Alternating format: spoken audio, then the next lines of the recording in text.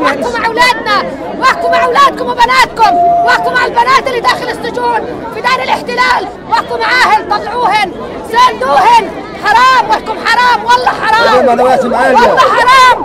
فيش الحمد لله معنويات الاسرى داخل السجون اقوى من المعنويات اللي برا. الحمد لله رب العالمين. ونرفع رؤوسنا فيهم لانهم جبال ما بيهزهم ريح ولا بيهزهم زنازين ولا بيهزهم مرض. بس أنتوا المرضى أنتوا اللي داخل السجون المرضى. مش اللي مش اللي جوا السجون المرضى كل واحد جاي يتضامن كل واحد جاي أنتوا المرضى مش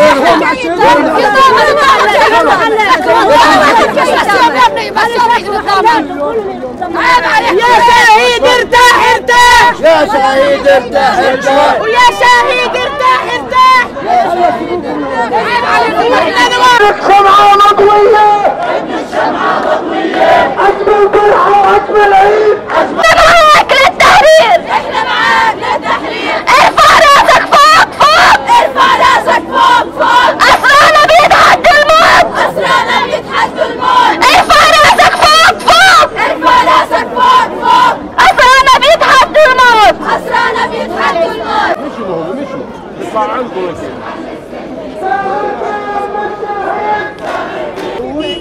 هنا السؤال وهنا المطلوب على القيادة. مش قادرة مش قادرة تسوي شيء للشعب الفلسطيني. لو سمحوا يصفوا ويطفوا. لو سمحوا يصفوا ويطفوا.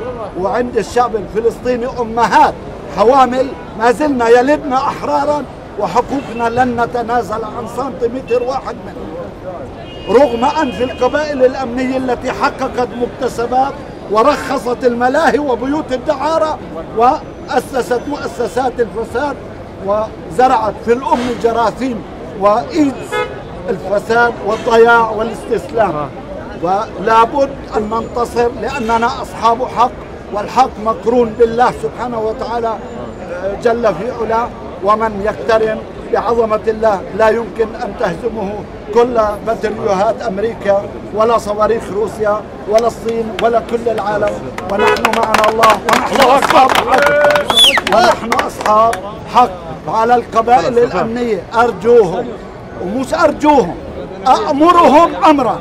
أن يخلوا سراح كل المعتقلين الأحرار الفلسطينيين السياسيين.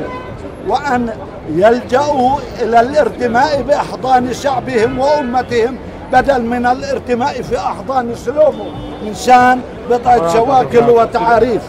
ولنا أمل بأمتنا أن تكون نصيرا لنا وعونا لمجاهدي فلسطين. ولن نستسلم ولن نركع ولن نخضع إلا لواحد أحد.